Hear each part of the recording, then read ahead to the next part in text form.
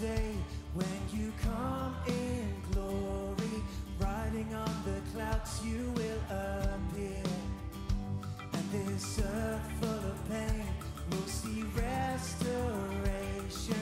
War and disease shall disappear.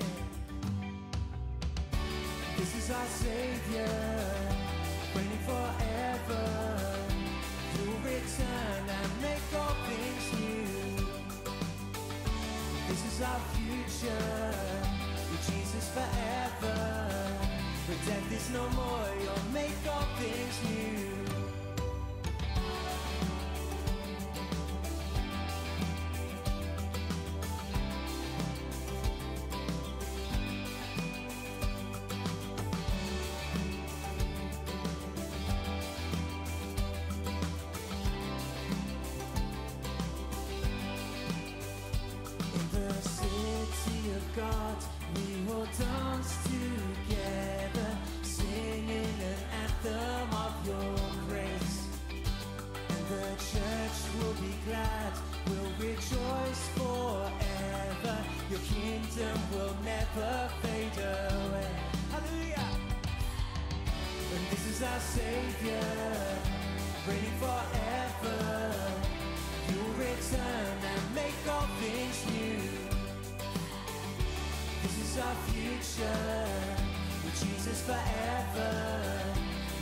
Is no more, you'll make all things new. There'll be new joy, new life, the world as it should be. All longing satisfied, and seeing you, our Christ. There'll be no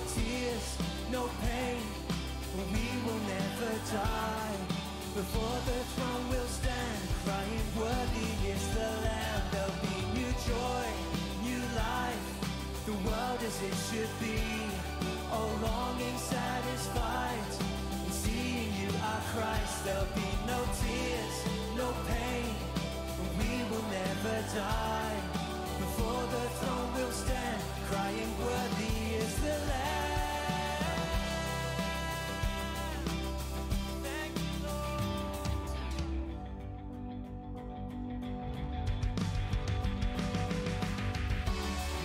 Savior,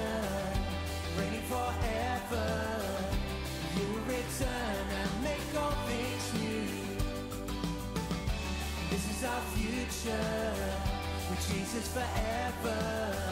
Where death is no more, you'll make all things new. And this is our Savior, reigning forever. You return and make all things new. This is our future, with Jesus forever. Where death is no more, you'll make all things new.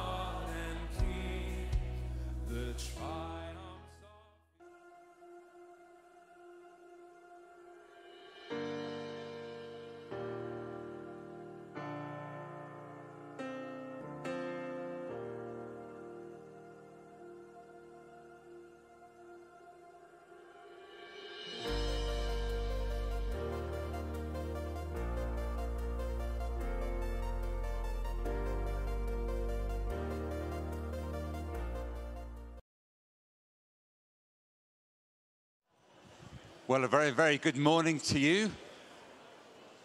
Shall I try again? Good morning, everyone. Lovely to have you in the main tent here in Keswick. Also to have you joining online or via relay. It's great to have you joining us this morning for the week three Keswick lecture. Delighted to welcome John Stevens here as our lecturer. John became a Christian while studying law at university and had a career teaching law before he became a church planter and pastor. So he was the pastor for the City Church in Birmingham uh, for 11 years and then was appointed the national director of the Fellowship of Independent Evangelical Churches in 2010. So delighted to have you, John, with us here. And he observes as a little orientation to the lecture. The past two years have been tremendously challenging for churches. The pandemic has expedited the decline of the church in the UK, with some denominations facing extinction. At the same time, evangelical churches are slowly growing. This lecture will explore the current state of British evangelicalism's prospects for the next decade, considering issues of theology, identity, unity, diversity, and mission. So it's very much an analysis, a reflection, and a looking forward as well. John, it's lovely to have you with us. We're, may we pray together for John and our time, and then I'm going to hand over to John.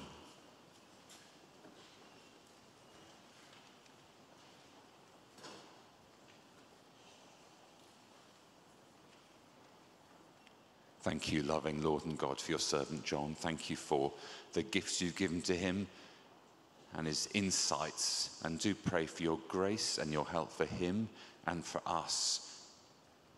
And as we look at the current situation, in a sense, in the horizontal, help us to remember that you are the same Lord and you have promised to build your church. We pray in Jesus' name. Amen. Well, good morning, everybody, and thank you um, very much for uh, coming this morning. Um, it's a tremendous privilege to have been invited to give this um, Keswick uh, lecture. Have to be said, when the um, invitation um, was received, um, I was both intimidated and confused. After all, it was an invitation to give the Keswick lecture. I didn't really quite know what that was or quite what that meant. I was confused because it was an invitation to give the lecture. And I wondered, what on earth do you mean by a, a kind of a lecture? How is that different to a sermon, a seminar, uh, a kind of a talk? I used to be um, a university lecturer. I spent 16 years teaching in universities, and for much of that time, also a bivocational pastor. So I had a foot in both worlds, a bit of a crossover between uh, lecturing and preaching. Um, actually, my church often complained my sermons were like lectures, and at university, my students complained that my lectures were like sermons. Um, I think for me, being asked to give a lecture is simply the freedom to speak about something in a 50 minute block. Um, uh, in the middle of the uh, Puritan period, actually, they, um, churches would often have a lecturer, and what they meant by it was um, a preacher, and I'll use that as my framework. My task is to um, speak about the state of current British evangelicalism post COVID as we um, look forwards. And I think one of the uh, privileges of my role as National Director of the FIEC is that opportunity to be able to see the bigger picture. The FIEC itself is about 630 churches, and since January, I've had the privilege of preaching in a different church pretty much every Sunday morning all around the country, which has been great to find out what's happening on the ground. I'm also involved in uh, wider evangelical initiatives. I'm on the Council of, of Affinity, which is about 2,000 churches that are at the more conservative end of the evangelical spectrum. I'm also on the uh, Council of the Evangelical Alliance, which is the largest evangelical grouping. And in what I'm saying, I want to be drawing both on um, empirical evidence and statistics about the state of current British evangelicalism, but also I'm drawing on my own anecdotal um, experience and observation um, of what I see happening. Um, I was asked to speak on something very similar to this topic earlier in the year for the London Gospel Partnership. What I'm speaking about today is, in many ways, a modified and expanded and an updated um, uh, kind of version of that. So, my apologies to you if you've heard some of this before. I guess very few will have been there um, for that. If you were, you've probably forgotten most of what I've said, and I hope that it will be um, helpful uh, to come back to some of those things. That's really by way of preliminaries, so let's get started.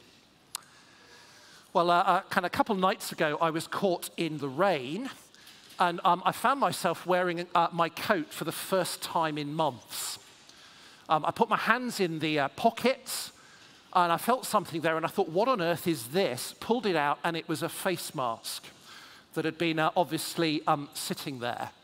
And that kind of just brought home to me how much we've moved on from the COVID crisis and how easy it is to forget what it was like I don't know about you, but I think those two years of the COVID crisis with all of their restrictions, um, in some sense, seems both a long time ago and to some degree unreal as we've kind of um, moved uh, forwards. But it's still really relatively uh, soon, I think, to assess what the long term impact of that crisis was and will be on society and on our churches. And even though lots of things seem to be uh, returning to normal, it seems to me um, that we won't simply return to normal, but we won't yet know how things um, are going to change. Well, I want you to know I'm not going to be speaking for this hour about COVID. We've all, um, in a way, heard uh, uh, enough, I think, about COVID. But um, I, I, want to suggest that it's actually not just the COVID crisis that's affecting our churches and our ministries. The background uh, that we're facing at the moment um, is actually such something much bigger and much deeper than that. Because it seems to me that we are experiencing a massive change in our culture. And that in many ways, what we're experiencing is a generational shift that is taking place. COVID is only part of a much bigger picture of what is happening. It seems to me that we've been facing, in fact, a series of crises that go back at least to uh, 2008 with the uh, economic crises. We had the uh, economic crisis of 2008, the Brexit crisis of 2016, 2020, the COVID crisis, and now we're facing a massive cost of living crisis and a, a, crisis of political authority. I think one of the challenges is it seems to have been almost perma crises since 2008. That generates uncertainty, instability, fear, and anxiety. The days of people singing things can only get better are long gone. Trust in leaders has been shattered by scandals and failures. And we're facing uh, a difficult economic shock, uh, rise in uh, the cost of living, and fall in living standards. Our society is wrestling with multiple social problems a mental health crisis, an aging population, the need for social care. And in large measure, measure there is a hope deficit in society. More broadly, around the world, Western hegemony in the world um, is under threat. We see um, increasingly the rise of rival authoritarian and nationalist regimes.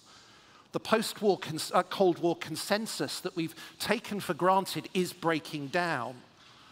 We see the rise of Russia, China, India. That, of course, has come home with the uh, kind of war in Ukraine. And maybe perhaps for the first time since the late 1980s, there is at least some genuine threat of the possibility of nuclear annihilation. In the West, in our own backyard, we've very much seen the triumph of secularism and liberal progressivism in our culture. I think we have to recognize and accept that the, liberal progressives have won the cultural battle by and large. We might speak about um, a cultural war, but the reality is more uh, of a guerrilla resistance because the victory has been won. We live in a, a, divided society where remnants of the old culture and the old morality clash with the dominant new morality. And there's a, a fundamental shift in generational attitudes and expectations. That might be characterized as the difference between the woke and the populist between Gen Z and millennials and baby boomers. A recent uh, YouGov survey said that 80% of people think it's important to be alive to issues of race and social justice. They might not use the word woke, but they are identifying with the fundamental concept. And as Christians, I think it's absolutely vital that we grasp that progressives are no longer deconstructing an established social order. They have become the social order. And they are sort of uh, seeking to construct um, their new alternative social order. As that process begins to unfold, there are inevitably tensions. We see those increasingly emerging. We see that, for example, in the uh, issues over kind of feminism and transgender ideology, um, uh, and those groups competing with each other. What is a woman? That's part of the constructing of um, this new order. And I think one of the things that we need to grasp as Christians is that we're used to thinking that the liberal progressives are kind of advocating immorality, that that's their agenda. If we go back to the 1960s and the 1970s, that may well have been the case. The sexual revolution was the overthrow of a traditional morality in a, in, in a desire for hedonistic freedom. But that is not how liberal progressives see themselves today. The uh, liberal progressives today see themselves as deeply moral. They see themselves as advancing um, a, an alternative and, uh, in their view, a better morality. They see themselves as fighting against injustice, oppression, and discrimination. They see themselves as righting the wrongs of history that have been perpetrated. We as Christians are wrong footed if we think that it's an immoral movement when it sees itself as a deeply moral movement. There's been uh, something of a conservative reaction to liberal progressivism, the rise of populism, it seems some political successes. You might put Brexit, Boris Johnson, Trump, Viktor Orban into that category. But there's some evidence that that kind of uh, rise of populism is beginning to wane. It's uh, offered simplistic solutions that, when tried, haven't delivered. And I, I think it's unlikely that that is likely to be the, um, the future trajectory. A recent survey in the UK showed that amongst um, 18 to 24 year olds, uh, the Labour Party has a 35% point lead. There is a, a fundamental change in the attitudes of a whole new coming generation. These tensions are, are seen um, uh, sort of uh, particularly perhaps in London, London in the UK is strangely the most progressive city in the country and also the most conservative.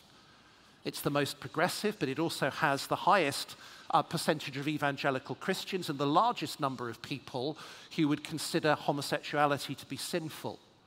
In, in many ways, it encapsulates um, what's happening um, in our society at the moment. We see these things being played out even more extremely in the US where um, evangelicals and society are divided deeply over political issues. It's not the same in the UK, but we can sometimes con ourselves that it is. Um, uh, but even there, you still see the advance of um, uh, kind of liberal progressivism. Take, for example, the issue of abortion. Roe and Wade overturned the constitutional right to abortion. Uh, but that doesn't mean that suddenly America is going to be a country that changes its views on um, abortion rather like in Ireland, where there was a, a, a vote and a, a, massive percentage of the population voted in favour. Just yesterday, there was a, kind of a referendum in the conservative state of Kansas, which voted by 60% to 40% to keep abortion. We shouldn't think that somehow there's going to suddenly be a return to the old conservative consensus. The reality is that we've not won hearts and minds and we're in danger, politically at least, of being a shrinking constituency. There's no doubt that UK has long since ceased to be a Christian culture. And I think that our culture is experiencing something of an identity crisis about who we are and what we're for. We are now a multicultural and multi ethnic nation, inevitably questioning our own understanding and our past and our present are being re-evaluated. Like all people, we like to view ourselves as good, or at least as better than others. Um, as a nation, we tend to be like the um, Pharisee in the parable of the Pharisee and the tax collectors. At least we're not like them. We are superior. After all, aren't we the land of hope and glory, the mother of the free? Haven't we got a great history but movements like Black Lives Matter have begun to impose scrutiny on the issues of race. The history of the empire begins to be unpacked, and it's a history that includes slavery, racism, exploitation. The mythology of the Second World War, that it's Britain standing alone, is beginning to unravel. The mythology that kind of um, uh, sort of uh, we triumphed over Nazism um, it is countered by the claim that Churchill, at the very same time, allowed millions to starve in a famine in Bengal. There's an article on the BBC website today about the uh, Kenyan Asians arriving in Leicester in the 1970s, city right near where I live. And it's appalling the way they were treated and received.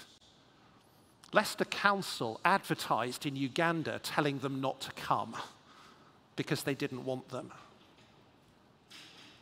And COVID, I think, has exposed that people's values are not necessarily what we expect. In some ways, the uh, Brexit vote was a shock to the establishment, but so has been the massive public support for COVID restrictions. Those who want to characterize Britain as a, a country of freedom loving people willing to risk death have been disappointed. The public mood is more towards collectivism, health and safety are people's priorities. And into that context, Christians are a tiny minority with little voice or influence. We're marginalized. The church, in the broadest sense, um, uh, uh, uh, is in spectacular decline. And that decline has been exacerbated by COVID. All the evidence is that non evangelical churches are facing catastrophic collapse. Ministry is not sustained, congregations are not returning, money is running out. And those churches are facing a demographic time bomb. Most of their congregations are elderly. The average Anglican is over 65. And frankly, in the next 20 years, a vast swathe of churches are simply going to die out. The evangelical church is under pressure to compromise with the culture, especially on LGBTQ uh, rights. Non evangelical denominations are, are all moving to affirm same sex relationships, whether that be the Methodist Church, the Church of Scotland. The Baptist Union is leaving that for local churches and won't deal with it. And in some of those denominations, evangelical congregations and ministers, as a result, are leaving. Only a minority of the population identify as Christian in any sense. Most recent census suggests maybe 51%.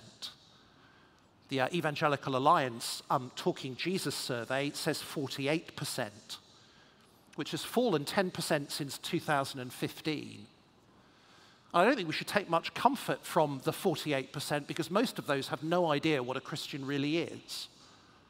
And actually, the numbers of people in that group are again predominantly elderly the kinds of people who will put C of E on the form when they kind of get taken into hospital.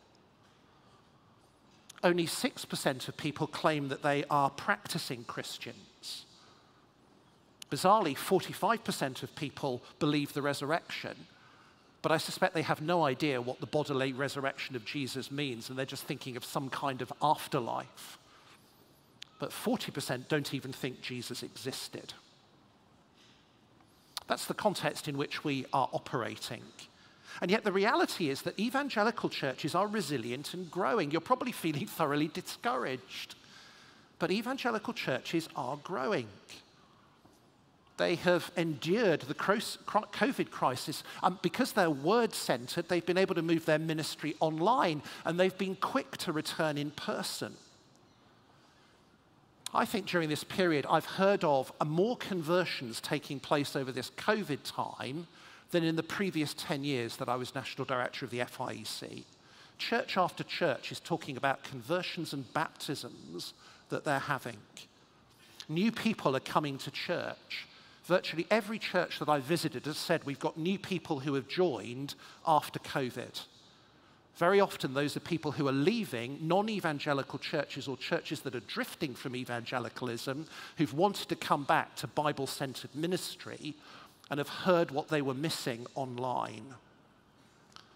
In most cases, uh, churches have maintained their unity, even though there's been some division over how to respond to COVID. And they've discovered the potential of uh, technology to connect and to reach people The online service is now the front door of the church. It's kind of the TripAdvisor, um, which enables people to check you out before they ever come through the door. And that's a, a, a, wonderful opportunity. People are finding people coming to church who they, they don't even know really where they've come from. And they've found them online. We've rediscovered the vital importance of physical gatherings um, and community. But, but in the midst of those challenges, we've also faced significant leadership crises. The exposure of abusive leadership, past abuse within evangelicalism, that's called into a question the integrity of our culture. Now, why have I said all of these things? Because I simply think we need to grasp the scale of the challenge that we face as we come out of the COVID crisis. This is a moment to take stock, and we need to be realistic. We need to recognize the challenge if we're to minister the gospel in our culture in an effective way uh, from our flawed church. And I think it's all too easy for us to feel intimidated and inadequate, depressed, and beleaguered. So, how do we meet the challenge of these times? Well, what I want to do um, uh, as we begin to think about how to meet these challenges, I want to turn us to 1 Timothy for help. What I want to do is kind of do a big, broad overview of um, 1 Timothy and how I think it helps us and orientates us to meet these challenges. The reason I want to do that is I found this letter hugely helpful for resetting my priorities. And that's because basically 1 Timothy is written uh, to somebody who is leading a church in a crisis situation. The letter is, has that as its context. Paul is uh, writing to Timothy, who is the leader of this local church, uh, because he's got to address multiple problems that the church in Ephesus is facing.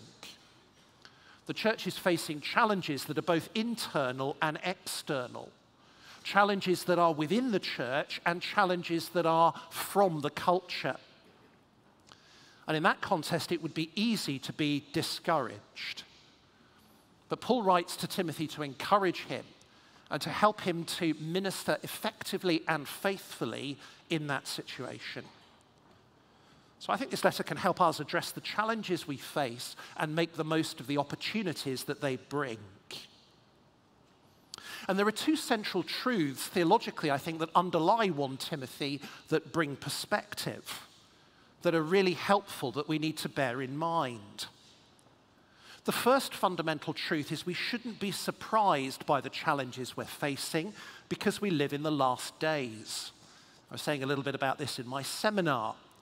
We live in the last days, which biblically is the whole period from the resurrection and ascension of the Lord Jesus through to his return. It's a time of simultaneous church growth and hostility to the people of God. 1 Timothy chapter 4 um, describes this as the, the latter times, the last stage of God's plan of salvation history. That's where we are. So we shouldn't be surprised. The Bible gives no expectation before the Lord Jesus returns of some kinds of utopia. It's not so much that we're to fight a cultural war, but we're in a spiritual battle against deceiving spirits. That's the context we're in. And then the second fundamental theological truth that's at the heart of the letter is in chapter 3 and verse 15, which is that the church is the pillar and foundation of the truth. The church, which is the household of God, has the job given by God of upholding the truth of the gospel. Now, actually, that's quite striking because we expect it to be the other way around. The gospel is the foundation uh, of the church. But in actual fact, the church is the foundation of the gospel. The task of the church is to hold up the gospel and its truth in the world.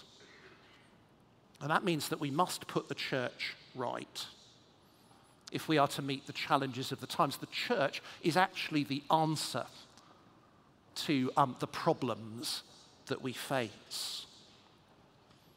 So, as we think about the massive challenges that we face, it is essential that we put the church right to meet those challenges. And that is exactly what Paul is telling Timothy to do in this letter. Well, I'd love us to be able to read the whole letter and look at it all in detail, but I've only got a 50 minute lecture. So I'll have to take for granted that you can read it for yourself or you're um, familiar with it. But I think what the letter shows us is that there are three big priorities that Timothy is to have. And they are um, uh, encapsulated in three trustworthy sayings that, that essentially summarize the message. And I think um, uh, these um, three priorities are crucial to leading a church in crises, and they're absolutely crucial for what we need to do in the situation in which we find ourselves. So, three things, and I'm going to try to apply them into um, our context of contemporary British evangelicalism. The first of those is keep our focus on the gospel. Keep our focus on the gospel. Chapter 1 and verse 15, Paul writes Here's a trustworthy saying that deserves full acceptance Christ Jesus came into the world to save sinners. Now, in essence, that is what it's all about. That is what the church ought to be all about. Our role, our mission, our purpose is to rescue sinners from the coming judgment of God so that they can believe in Christ and receive eternal life. And our task is to preach this gospel to pray and to campaign so that we have the freedom to preach this gospel, and to be a people who live in a way that commends this gospel. The great danger for the church is we lose focus on that absolutely central priority. And actually, Paul uh, writes here to make sure that we have confidence that there is no one beyond the scope of the grace and mercy available in this gospel. Paul says he is the paradigm example. He is the worst of sinners. If he can be saved by this gospel, anybody can be saved by the gospel. If God can show him mercy, mercy is available to all. And the great challenge, I think, is that we easily become distracted from the gospel and other things can take priority. And in 1 Timothy, I think there are four major distractions from the gospel um, uh, that we need to be um, uh, avoiding. They're very relevant to our particular kind of contexts. They cause the church to turn inward or to look outward in the wrong way. So let me say the um, four kind of distractions that you find in 1 Timothy clustered around this saying. The first is false teaching within the church. False teaching within the church. You can't keep your focus in the gospel if you've got false teachers who are denying it. And actually, one of the key messages in 1 Timothy is that uh, Timothy has got to deal with the false teachers in Ephesus. In the particular context, these were legalistic false teachers adding to the gospel. They were adding a kind of a Jewish asceticism that was sort of forbidding people from eating, eating certain foods and forbidding them from marriage. Now, in our context, a false teaching might be different. Our challenge is more often a libertarian false teaching that rejects God's moral standards. But both kinds of false teaching distract from the gospel, undermine its message, and the result is the church turns inwards or outwards in the wrong way. It either becomes destroyed from the inside or it preaches a false message of moralism or kind of um, simple acceptance. Now, for us, the defining issue of the moment, it's not the one that we would have chosen, but the defining issue for the moment is that of same sex relationships and how we're to approach the issue of um, kind of homosexuality. It's an area in which there's been massive change of attitude in our culture over a period of 50 years from criminalization to tolerance to celebration. And every church, every denomination, every group is having to grapple with the way that society's views have changed. even as we meet the kind of Lambeth Conference of Anglican bishops, is having to discuss the question of whether to affirm the biblical teaching uh, on uh, marriage. As I've said, we've already seen denominations, churches, Christians capitulating and re um, uh, kind of defining and reinterpreting their understanding uh, of uh, kind of marriage. Some even claiming that they are evangelical while doing so. The warning against um, church, false teaching here is a reminder to us that if we want to be effective, we do need to have a proper cancel culture in our churches. False teaching must be cancelled if the church is to be healthy and faithful in its ministry. We must no platform false teachers who want to undermine the gospel. Uh, actually, I think positively, having to deal with the issue of human sexuality has actually been good for the church because I think it's been refining the church. Because unlike many other issues, it's an issue on which, in the end, you have to take a stand and you can't hide what you believe. Because you either practice same sex marriage or you don't. You either accept practicing homosexuality or you don't. It's revealed where people really stand. Are they really going to stand on the word of God or are they going to go with the culture? And what we're seeing actually amongst the evangelical constituency is some clearly becoming liberal and wandering away as they abandon the biblical teaching, and others becoming clearer on the biblical teaching and accepting the cost of taking a stand. I think the church is being refined, and the result is it's becoming healthier and stronger. And I think we have to grasp that this issue of same sex relationships is a primary issue. It's not a secondary issue because the New Testament makes clear it is a salvation issue. You cannot be engaging in homosexual sex unrepentantly and enter the kingdom of God. It's a salvation issue. To accept and tolerate um, uh, sort of unrepentant sexual sin is to uh, kind of, uh, in a sense, affirm people in a false salvation. This is a, a primary issue on which we need to take a stand because that's the way the New Testament treats it. And remarkably, it's the churches that are faithful to the gospel and taking that stand that are growing. The claim is often made, isn't it? If we revise the message, if we change it, if we become more tolerant, become more accepting, the church will grow. Not at all. That's not the evidence. It's those that have stood firm that are growing. John Hayward recently did some work um, kind of on church growth. Some of you may have seen it. It made it into the papers. He did a bit of a COVID analysis looking at the R rate, the reproduction rate of various churches and denominations.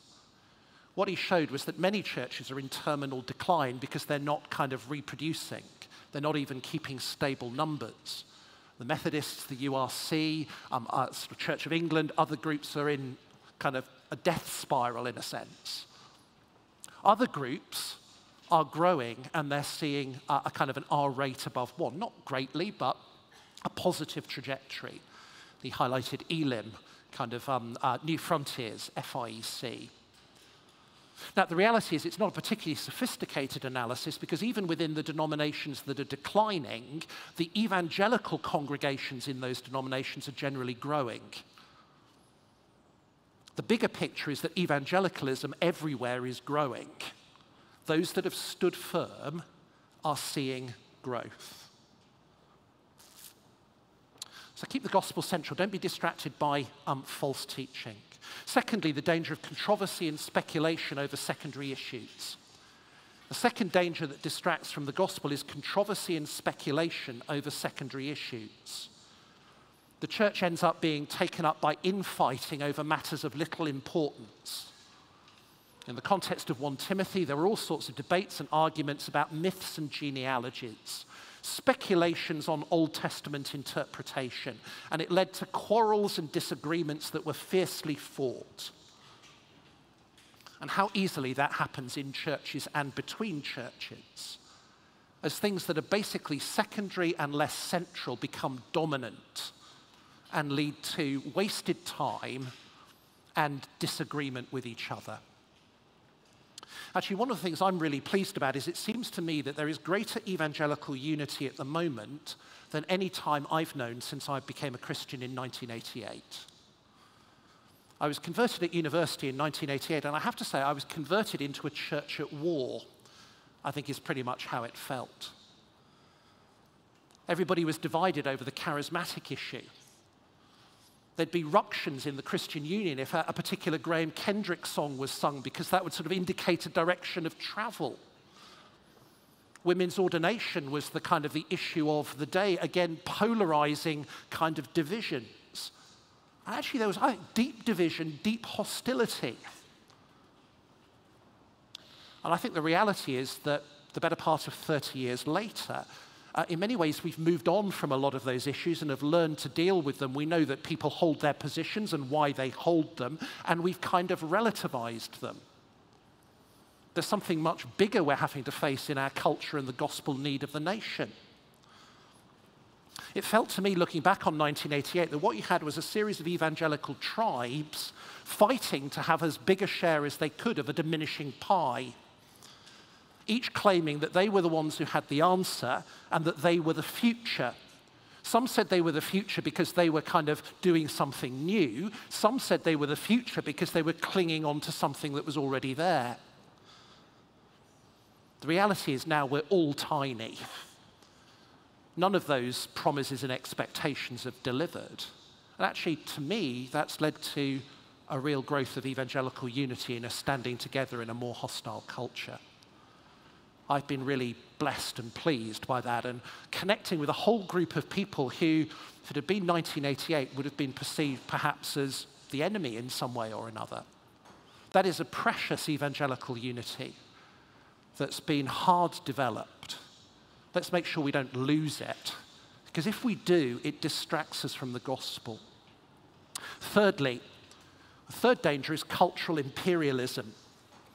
Cultural imperialism, by which I mean is our desire to impose our culture on others, expecting that they must conform to our tastes, our ways of doing things. And what we do is we dress it up as obeying God's word. That's actually a part of the uh, false teaching and controversies in 1 Timothy.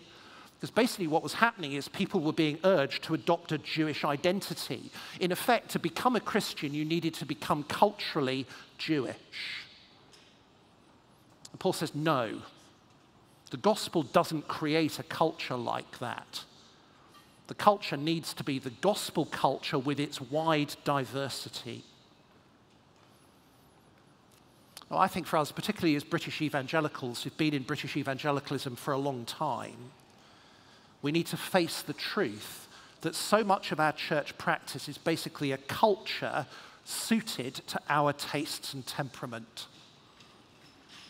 So much of our church cult practice is a culture suited to our tastes and temperament. That's true of things like service timings, music, service structure, the length of the sermon, the way we welcome people. All of those kinds of things are a, a culture that we have created that suits us, but we treat it as if it's commanded by Scripture and therefore expect everybody else to fit with it. And if we baptize our culture as gospel, the result is we inevitably exclude, alienate, and end up judging others because we're requiring them to become like us. We've enculturated the gospel in a fixed and dogmatic way. I think this is absolutely crucial and vital as we think about being in a more multi ethnic context. So, one of our massive challenges is the ethnic diversity of the UK and ethnic diversity in the church. From God's perspective, the church is remarkably diverse. Recent studies said that 26% of practicing Christians in the UK are now from an ethnic minority. That's a way higher proportion than the proportion of ethnic minorities in the overall population. The, the church, the evangelical church, is becoming increasingly multicolored. But that diversity is not often seen at the micro level of individual local congregations or in the relationship between congregations, where they tend to be more racially, ethnically homogenous. One of the big challenges is how are we going to break that down? How are we going to become a genuinely diverse and multicultural church? And we'll only be able to do that if we give up on a cultural imperialism that imposes our culture and expects others to conform to it. We need to be humble enough to let it go. We need to be humble enough to learn. We need to build relationships across those divides and barriers. Much of the future of the gospel and evangelicalism in the UK depends on the ethnic churches that are vibrant, that are growing, and in many cases, theologically, more conservative and more robust than we are. If there's another diversity challenge in the UK context, it's the challenge of class. As evangelicalism is very often predominantly middle class uh, or above. And again, we need to make sure that we're concerned for the left behind communities, not just economically, but spiritually which are often most receptive to the gospel. And I'm encouraged that there is um, a growing movement to reach deprived communities. Uh, a fourth distraction is the distraction of politics. The church getting too involved in the politics of an unbelieving world and thinking that that's the way the gospel is um, achieved. Paul, interestingly, in uh, 1 Timothy, urges the church to pray for governments and those in authorities, but in order that God's people might be able to live a quiet life, which in the context of the first century means to live a non political life and to get on with the work of sharing the gospel. The mission of the church is not achieved ultimately politically. The church instead creates an alternative culture that reflects the gospel and urges people to come and join it. And I think we have a real danger if we misplace the mission of the church with an essentially political uh, kind of mission. So there are four distractions from this priority of the gospel. And I think as we come out of COVID into this new context, we need to resist these temptations. Keeping the gospel a priority doesn't mean that evangelism is the only thing we do, but it does mean that everything we do is done with a gospel purpose. And it seems to me that actually we are in a moment of great opportunity because all around us people are lost and in need of mercy and looking for hope. We need to reveal their sin and then share with them the wonderful forgiveness that's available in the Lord Jesus. I think as we think about how we reach out to the liberal progressives, we need to slightly change our mindset. If you think about the parable of the prodigal son, we tend to think liberal progressives are kind of like the, the, the younger brother. The reality is, as I said earlier, they're like the older brother. They are kind of legalists of a new morality. That means we need to change the way we think about connecting with them and connecting the gospel to them. So there's the first big priority. Second big priority is establish good order in the church. Establish good order in the church. You see, the church and evangelism can't be separated from one another because the church is the pillar and the foundation of the truth. The church is the household of God, it's his family. And like every family, the church needs to be managed and organized, which requires effective leadership. That's the uh, second thing that's stressed in a trustworthy saying. Chapter 3, verse 1 here is a trustworthy saying whoever aspires to be an overseer desires a noble task. So, if the church is to be able to do its job, it needs the right leadership. And right at the moment, leadership in the church feels like an overwhelming and thankless task. Many leaders are exhausted, and because of their cultural attitudes towards leadership and suspicious, they are fearful of leading.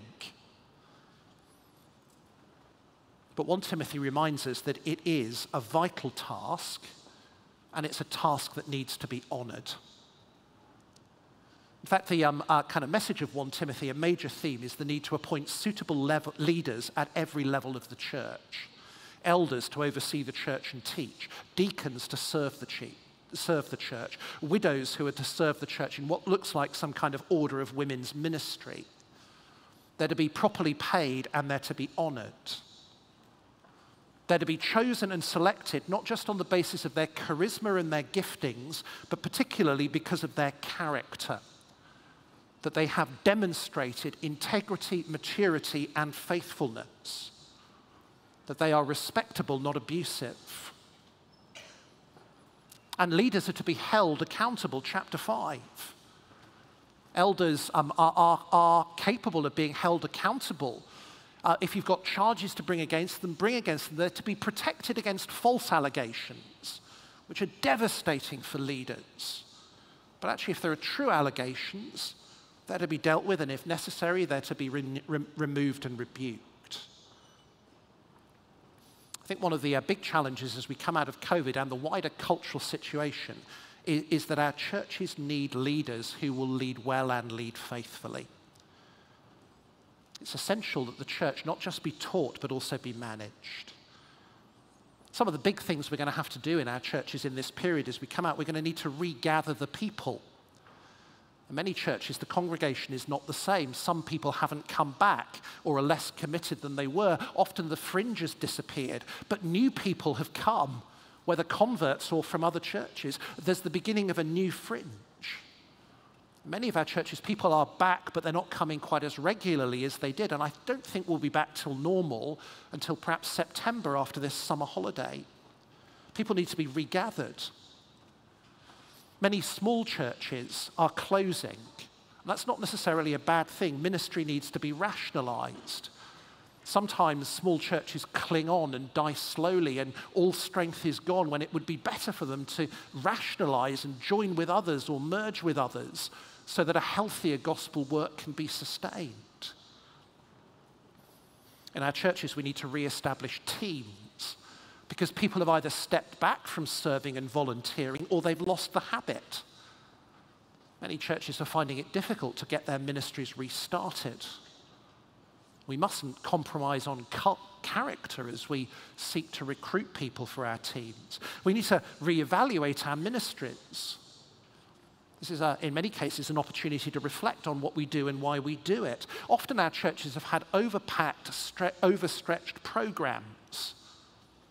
Maybe now is the time not to restart everything, to think about what we do and why we do it. And I think building genuine community needs to be a higher priority than simply starting activity. We need to ask ourselves the question what unexpected opportunities for connecting with our communities in evangelism has COVID revealed? Let's make the most of them. These are all our leadership challenges that are not a distraction from the gospel, because the church is the essential platform for the gospel. So, can I say, if you're a discouraged, exhausted church leader who feels like giving up, please don't. Your church needs you. If you're somebody who's got the gifts and character for leadership, can I urge you to be willing to step up to the plate because your church needs you? Be willing to volunteer. Be committed to serve. Don't think that somebody else should step in and do it. Your church needs you. Well, thirdly and finally, we need to pursue and practice godliness. Pursue and practice godliness. To impact our society, we need to pursue and practice godliness. In 1 Timothy, there's a great emphasis on the respectability of the church, by which um, it is meant the way that the church commends the gospel to the skeptical world. What matters is not just what we say, but what the world sees us doing. Church is essentially all about discipleship. It's not a, a kind of a performance that people attend. It's all about people being shaped into the likeness of Jesus. And the world ought to be able to see that and see its effects. So, chapter 4 in verse 6 The third trustworthy saying that deserves full acceptance for physical training of some, is of some value, but godliness has value for all things, holding promise for both the present life and the life to come. We live in a culture of gym bunnies, people desperate to take sort of exercise and train, um, uh, protect their bodies. Paul says, I understand the value of that, but there's something way, way more important, which is godliness. And godliness in 1 Timothy is piety, it's gospel living. And it's kind of serving God in the practicalities of everyday life. It's not some kind of religious element of life separated from ordinary life. And it's not just personal, it, it's corporate. If you want to describe what um, godliness is in 1 Timothy, it's essentially gospel sociology. It's the way we live as a community with one another. And let me give you three dimensions to that godliness in 1 Timothy that are crucial that we need to um, uh, reflect. Firstly, the church should care for the needy. The church should care for the needy. That's a massive theme in 1 Timothy. In chapter 5, we find the uh, focus on supporting widows who have no one to care for them, the most vulnerable group in ancient society. And of course, God has a heart for the widow, the orphan, and the foreigner. Paul says that caring for widows is putting our religion into practice. And so the church sets up a kind of structured system to support them, which makes the church hugely attractive. The uh, surrounding society didn't care about the poor, the vulnerable, the old, the widows. But the church saw their dignity and their value and cared for them. And actually, it was that care that the early church demonstrated for poor, women, children, sick, weak, and vulnerable that made the gospel attractive, and the world ended up trying to copy what the church was doing. Actually, COVID has given for many of our churches a remarkable opportunity to care for those who are in need, whether it be food banks, um, meeting people's social need. And we're about to go into a cost of living crisis in which there are going to be more needy people amongst us than maybe there have been for a long time can't afford to pay their bills, who have to choose between heating and eating.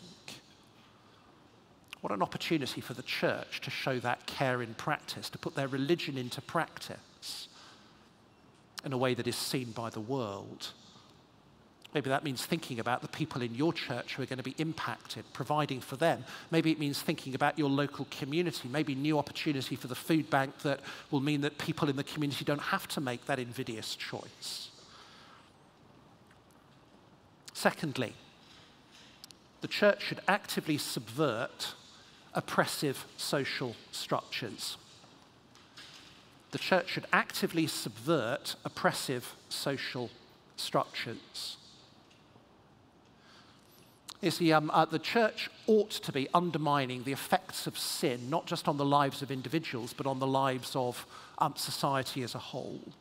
And one of the impacts of sin is unjust social structures are established, institutional uh, kind of racism being one of those. And the church has to work to undo that. It's like the Black Lives Matter movement have highlighted some of the uh, ongoing structural injustices in society. And the church should not be like that. It's meant to be different. We've already seen, there's supposed to be a racial reconciliation in Christ. The gospel is for all people, Jews and Gentiles alike. There's the one mediator and savior, Jesus Christ. We've already seen how the church is seeking to care for the widows and the elderly. One of the other aspects in 1 Timothy is the church dealing with the issue of slavery, which was a massive challenge for them. And the church had to navigate dealing with slavery in a culture in which slavery was normal and accepted, and they had no prospect of doing a Wilberforce and having it overturned and abolished. And the, uh, the, the, church has to walk a balance, but we even see in 1 Timothy the way that this kind of um, unjust social structure is being challenged. The church um, denounces the evil of slavery even while having to still live with it. So in chapter 1 and verse 10, it speaks about how the law speaks about slave traders.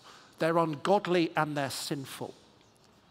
And yet, at the same time, in chapter 6, verse 1 and 2, it urges slaves to respect and serve their masters in order to protect the public reputation of the church. The church has to kind of subvert and live with at the same time. But the trajectory is ultimately to um, subvert and overturn. Slavery is subverted in the church by the gospel because it declares that slaves and masters are equal in Christ as fellow believers. The church always needs to be applying the gospel in a way that is subverting those kind of sinful, oppressive structures um, uh, uh, that are a result uh, of um, denying God. And as evangelical Christians, we need to be those who are at the forefront of seeking to do that. Why is it so often that we seem to have been the defenders of oppression and historic injustice? rather than through the gospel, the underminers. In a sense, we need to be more progressive, gospelly progressive, than the progressives. That starts in the church, and then as history shows, it then flows over into the world. And then, thirdly, connected with that, the church should encourage the powerful to trust God and be generous. So within the uh, church in Ephesus, there are some people with social power and wealth. They're the uh, privileged in society. what does Paul say to them? He urges them to willingly set their privilege aside, to not put their hope in wealth, to not use it to secure their own power, but instead to be willing to share it with the church community, to do good, to be rich in good deeds, to be generous and willing to share that to forego their privilege to serve their brothers and sisters in Christ. Not treating it as an entitlement, but a responsibility to steward, living in the light of the coming kingdom. And let's be honest, in worldly terms, most of us are immensely privileged in our status, our power, and our wealth. We don't think we are because we look at those people who've got a bit more power and wealth than us, and we think we're the ones that don't have it but we are immensely privileged. The question is, what are we going to do with it? Do we use it for ourselves? Do we keep it? Or do we willingly give it away in the way the gospel demands? COVID, for example, has taught many Christians just how much disposable income they had when discretionary spending wasn't available. Will we simply go back to the old patterns or will we rethink what we do? Well, there's far more that could be said. And I'm conscious I've only scratched the surface of what the challenges are that we face and how to respond to those. But I hope that has been helpful to think about where we are. I think we need to be realistic, but we shouldn't be discouraged. We have all that we need in God's word and in the gospel. 1 Timothy reminds us we're living in the last days. This is the way it is.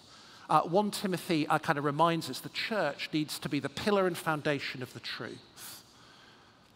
What that means in practice is that whatever the challenges we face in the coming years, we need to focus on the gospel, establish good order in the church, and pursue and practice godliness. We're all going to have to work that out in our own particular context. Well, you may think that that challenge is too great and the task is beyond us. That you won't be able to stand, you won't be able to seize those opportunities. Let me end with one final thought. The challenges are great. But what we supremely need is confidence that God is greater. And actually, that's a theme that runs through all of 1 Peter, uh, 1 Timothy. As Paul lays these challenges out to Timothy and tells him what to do, he again and again encourages him to lift his eyes to the greatness of God. Chapter 1, verse 17, he says, He's the King, eternal, immortal, invisible, the only God. Chapter 3, verse 15, He's the living God, the one true sovereign ruler of the cosmos. Chapter 5, verse 15. He's the blessed and only ruler, the King of kings, the Lord of lords, who alone is immortal and lives in unapproachable light. Our God is the sovereign King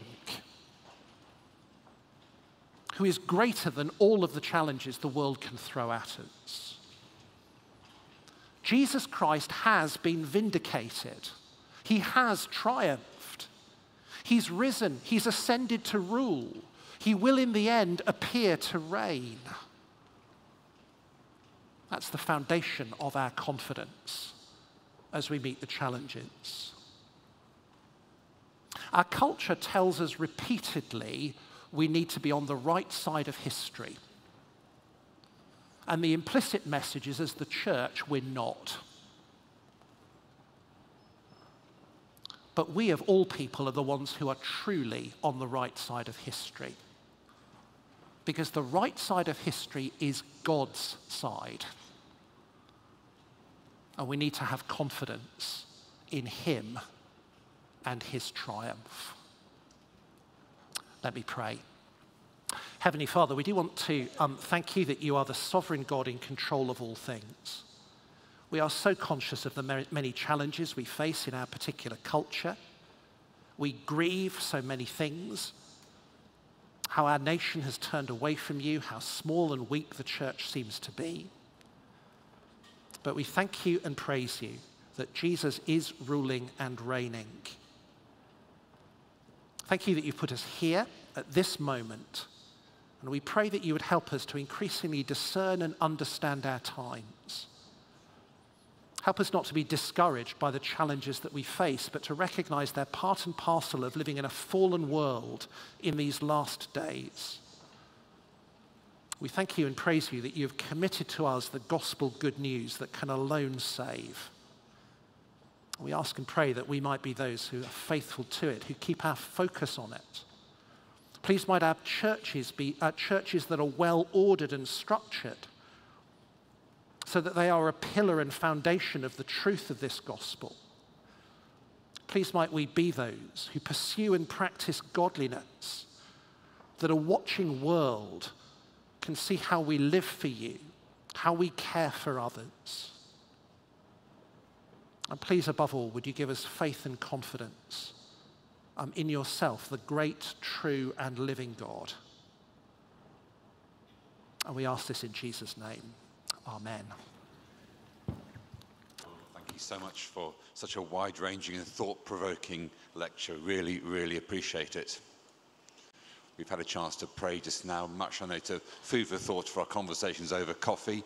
We meet again, Lord willing, for our Bible reading at 11.15. God bless.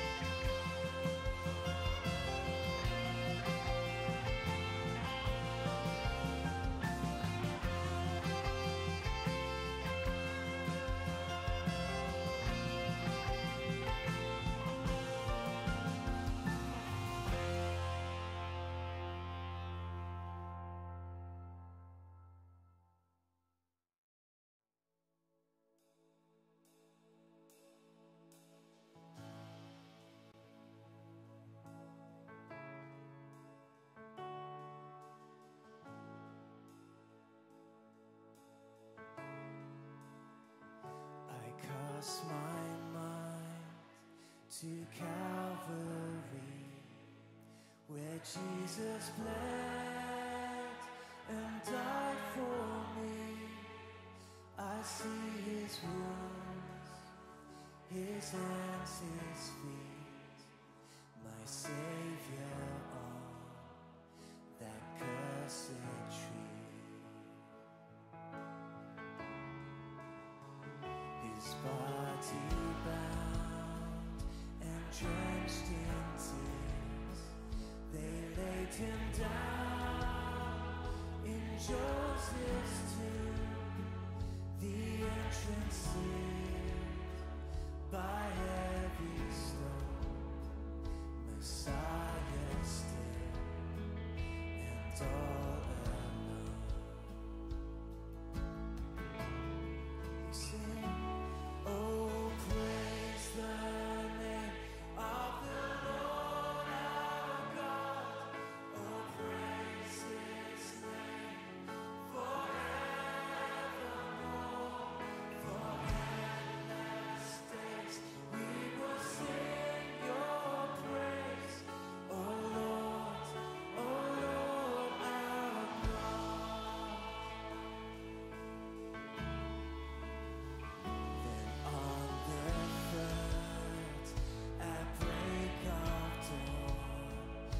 sorry